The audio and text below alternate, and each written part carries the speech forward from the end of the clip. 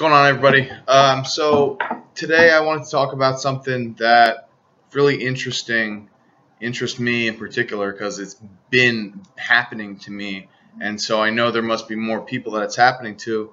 But I want to talk about these two things. Okay, and so for those of you that can't see it, Humalog and Novolog, um, two different, you know, your typical types of insulin for type 1 diabetes and whether you use a pump, whether you use pens, whether you're still drawn from a vial. Um, is it possible to develop a resistance to either one of these types of insulin?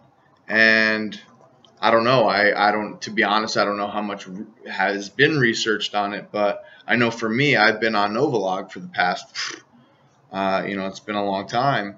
I'm just changing now to Humalog because I've been reacting adversely to the Novolog. And it's been keeping my blood sugars up. It's been you know hurting my body, and it's the same thing actually. The same thing occurred with, to me with Lantus. Um, you know your typical basal uh, insulin that you use to supplement Novolog or Humalog typically. Um, and so, can you develop allergies, resistance, what have you, you know, to these different kinds of insulin. Um, you know, and that's something that I want to start looking more and more into. Um, you know, hopefully I can, uh, you know, can hear from some of these companies to see what they've heard uh, or tested or learned from from you know trials and feedback. But we'll keep you posted on that. It's just really interesting that um,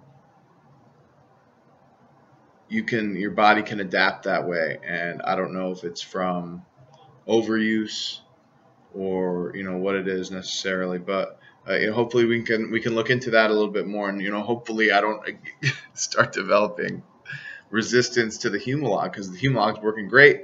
You know i'm on the uh, the MiniMed medtronic which is pretty pretty awesome pretty good deal you know and with the cgm which I'm still going to need to calibrate, and, and I'll go through that. Um, so it's going great on Humalog, just the Novolog isn't working for me anymore. So, right, keep going. Try to, uh, you know, do your best to control your insulin use and necessity with your diet. Um, you know, learn what really makes you cut that insulin down and, and you know, minimize it as much as possible. I think that would be a, a great way to uh, to to keep your body, you know, using that insulin properly. So, all right, be good.